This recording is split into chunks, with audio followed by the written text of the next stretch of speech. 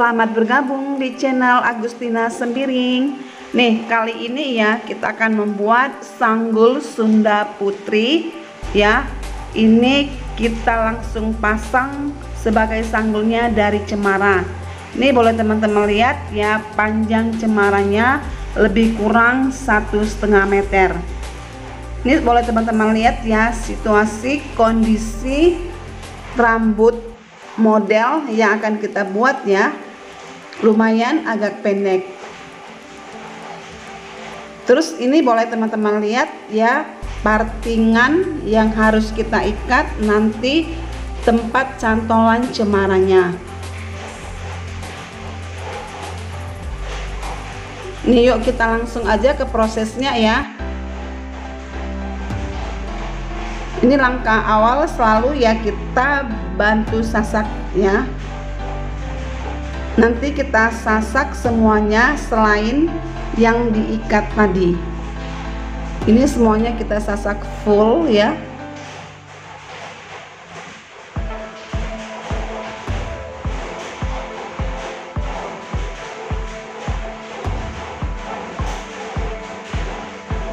Ini cara menyasak juga sangat menentukan hasil sanggul kita.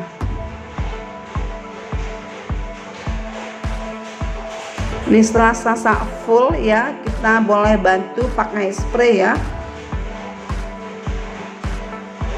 Dan untuk merapikannya kita pakai sisir sabet nih. Boleh teman-teman lihat.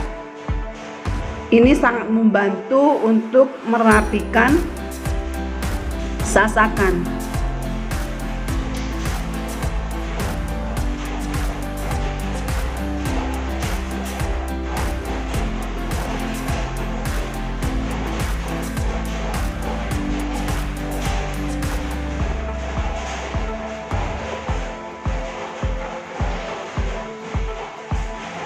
Nah setelah setengah rapi ya kita bantu lagi pakai sisir garpu.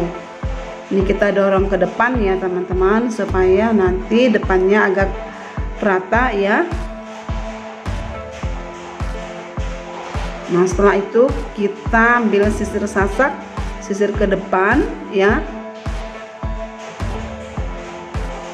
Terus nanti kita bantu pakai hairspray ya.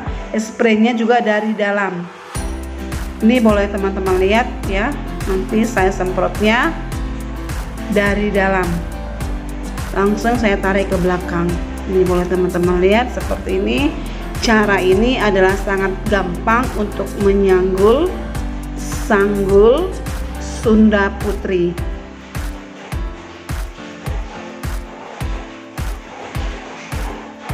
Nih kalau serasa sasaknya lepas lagi, kita boleh sasak ulang lagi ya dan kita pelan-pelan rapikan lagi.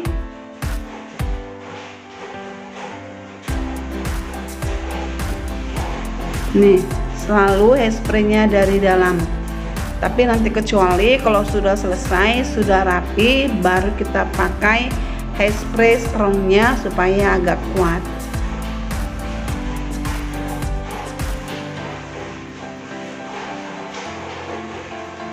ini teman-teman saya langsung praktek ya di depan ya anak-anak murid yang lagi saya ajari ya. Karena pas memang mata pelajarannya itu cara memasang sanggul cemara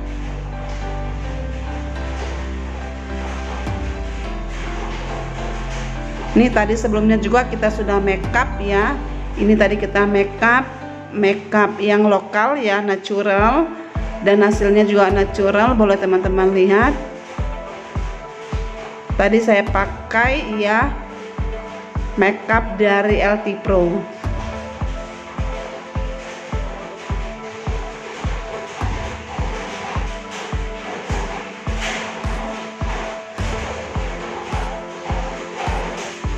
Di sanggul Sunda Putri tidak ada sunggar. Itu bedanya sanggul Sunda sama sanggul Solo ataupun Jawa.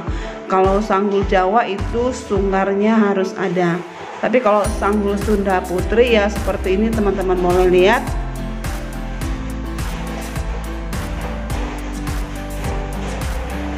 Dia tidak pakai sunggar.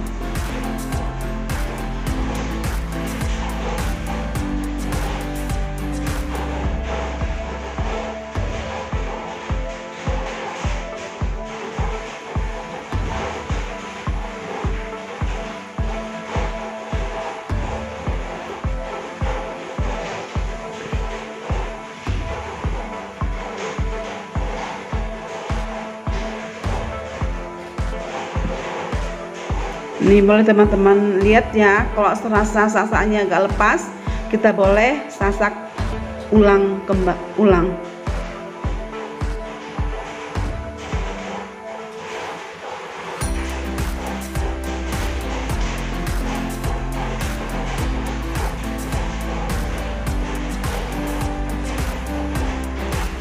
Nih kita sasak ulang lagi boleh ya. Kalau serasa sasaknya sudah kosong itu wajib kita sasak ulang lagi.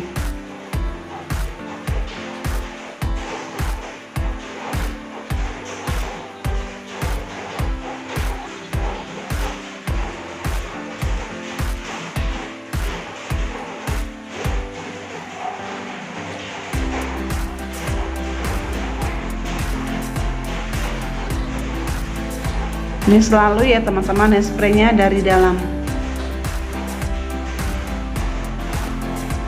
supaya kalau bagian luarnya belum rapi ya masih bisa dirapikan pelan-pelan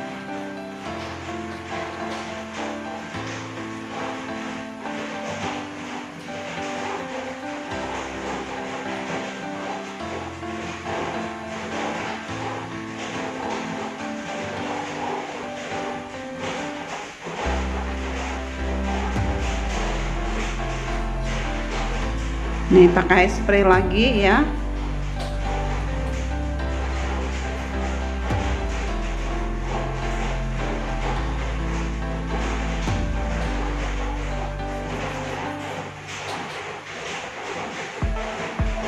Ini saya langsung jepitkan. Jadi kebiasaan saya menyanggul ya tidak pakai jepit bebek. Ini langsung saya jepitkan ya oleh teman-teman lihat sama sekali kita tidak pakai jepit bebek.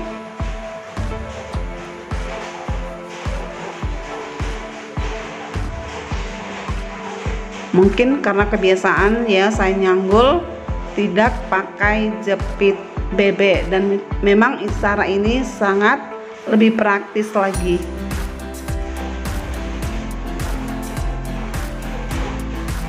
ini ya teman-teman saya pindah ke depan kaca ya supaya nanti langsung terlihat simetris sanggulnya. Ini boleh teman-teman lihat cara pemasangan uh, cemara. Maaf cemara.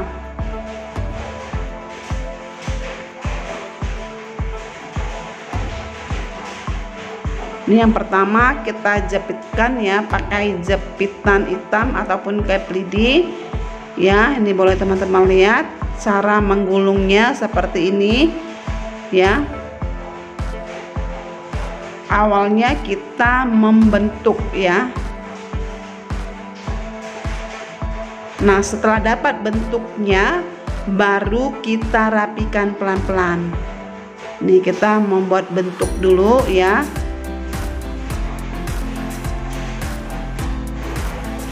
Di belakangnya nanti berbentuk sanggul tekuk Nah ini sangat bagus untuk sanggul Sunda Putri. Nanti kesimetrisannya juga ya sangat jelas.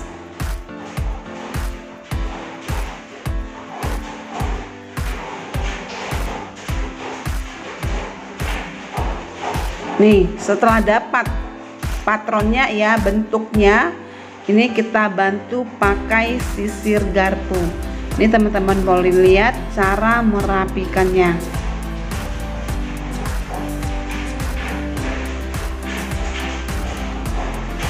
Oh iya teman-teman bagi yang suka dengan tutorial ini ya boleh dukung aku kasih semangat aku dengan cara subscribe. Bagi yang belum subscribe ya boleh di share like ya dan mana tahu ada ya model yang mau teman-teman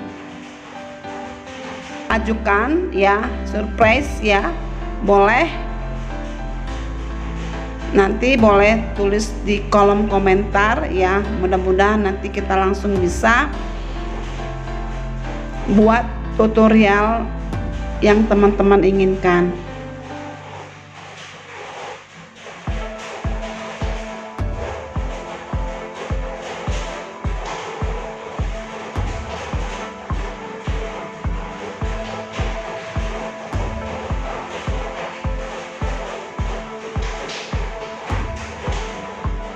setelah dapat modelnya pelan-pelan kita bantu pakai hairspray.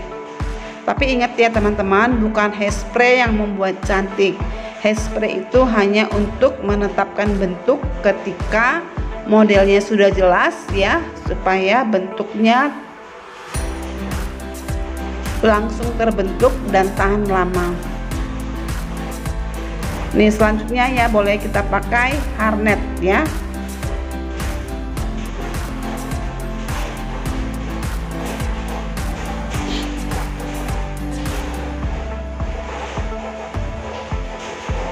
ini buat teman-teman bagi yang merasa kurang mahir tentang menyanggul ya kita ada buka privat ya. Privat one day tapi yang sudah punya dasar. Tapi kalau belum punya dasar itu minimal belajar satu bulan. Itu yakin saya jamin bisa dapat. Nah tapi kalau yang sudah punya dasar ya satu hari mungkin bisa dapat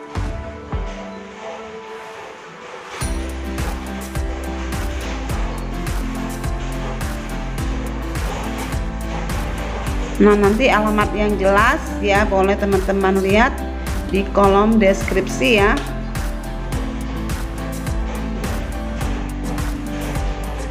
Nih yang penting teman-teman simetris sanggul itu sangat penting. Dan cara penjepitannya itu sangat penting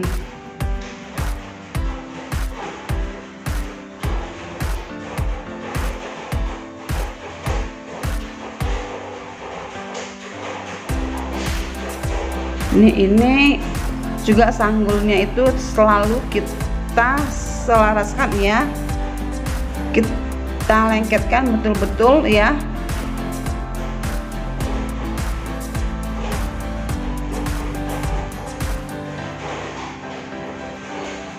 Ini cara penjepitannya boleh teman-teman lihat seperti ini supaya dia kuat.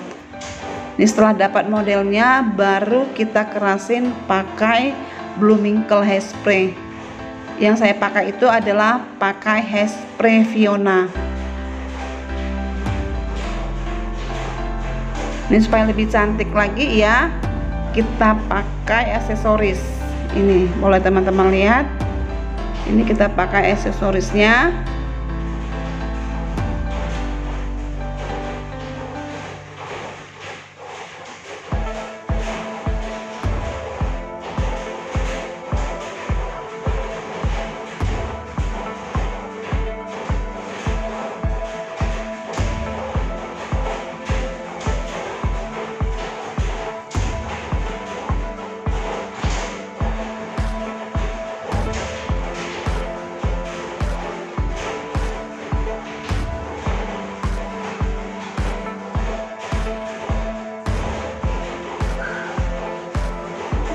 ini boleh teman-teman lihat sudah cantik ya. Dan nanti di belakangnya juga kita pasang aksesorisnya kecil.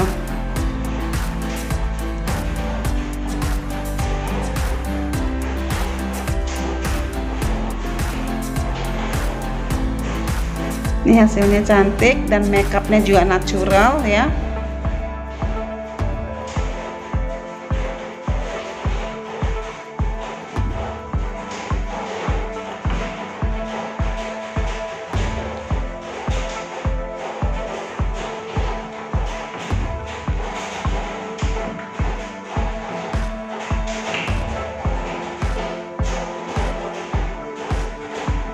ini saya tambah lagi ya, aksesorisnya bagian belakang ya.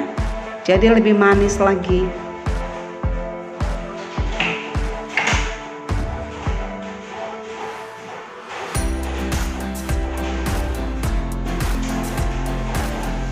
Oke teman-teman sampai di sini. Selamat mencoba. Terima kasih.